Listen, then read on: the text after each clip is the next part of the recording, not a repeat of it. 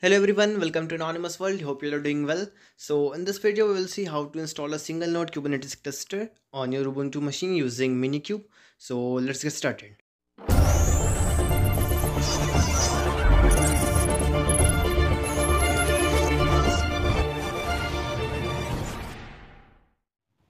Okay, so let's see how we can install a single node cluster using Minikube on our Ubuntu machine. So you can have your own local Ubuntu machine on a virtual machine or uh, you can use a machine hosted on AWS.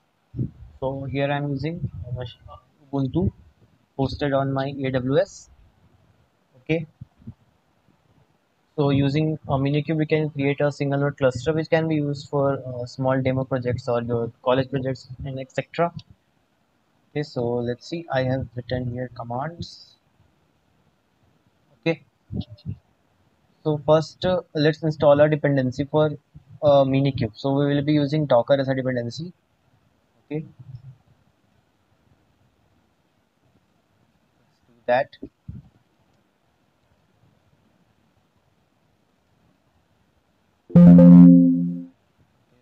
Sorry.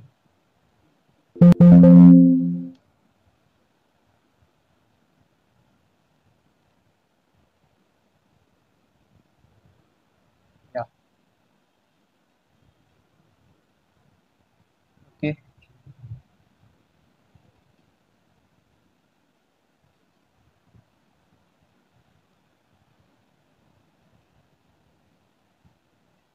Okay, so the script is getting executed for Docker.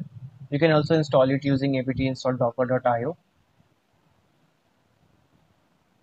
But this script uh, contains all the commands which will be needed to install Docker automatically.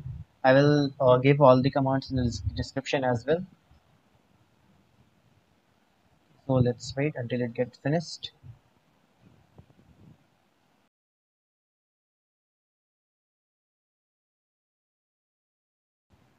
Okay, so our Docker is installed now.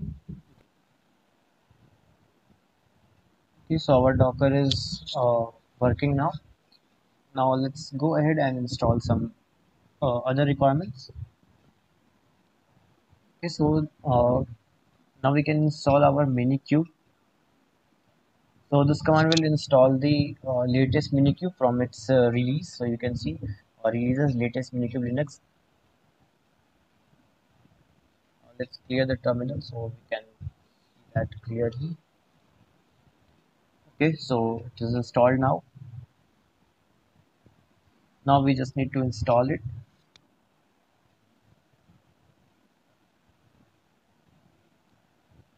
Okay so it is done now. Let's see if it is installed. Okay unknown flag version just be okay let's try without tag yeah so it is minikube version uh, 1.3 1.2 so it is the latest version of minikube right now. You can also match it with uh, this hash. Now let's go ahead. Now we need to install uh, kubectl and kube adm let's do that.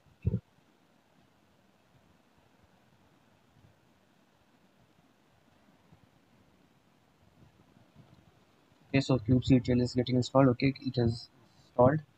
Now let's install kube adm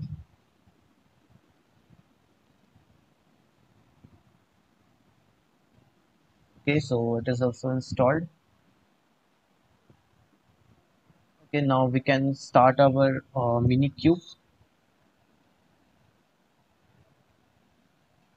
so we don't need to use sudo here because we can run minikube uh, without root privileges. And if you need to uh, run it using uh, root then we need to use the a flag known as force. Let's see okay. There are some errors. Okay docker daemon soft uh, there is some error with docker. Permission denied okay add your user to the docker group okay let's add ourselves to the docker group let's see if this if it runs now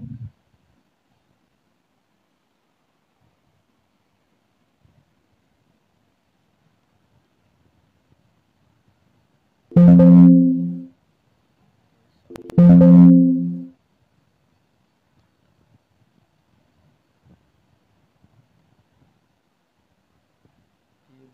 Start then we will be using a docker driver.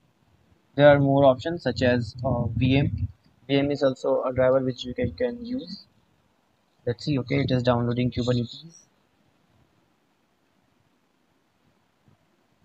So it will pull some files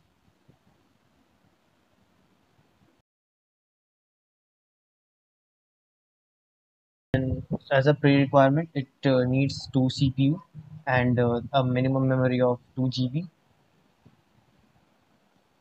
if you have only one CPU then it may not work.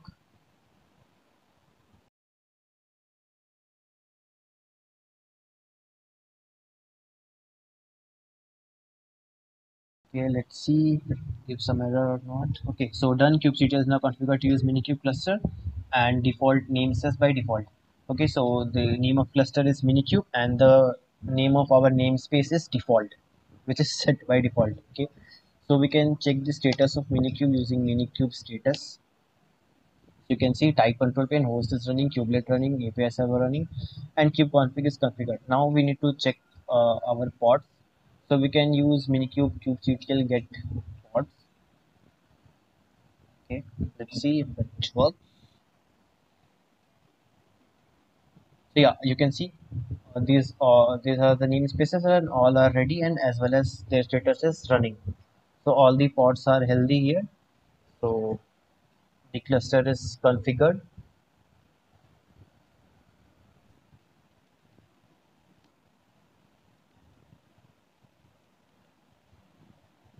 So let's see we can see our cl cluster info as well.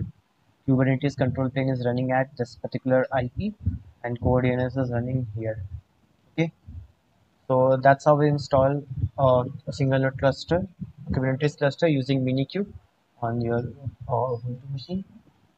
So it's a very simple uh, process and i will drop uh, all the commands which are used in this tutorial in the description so you can easily copy and paste.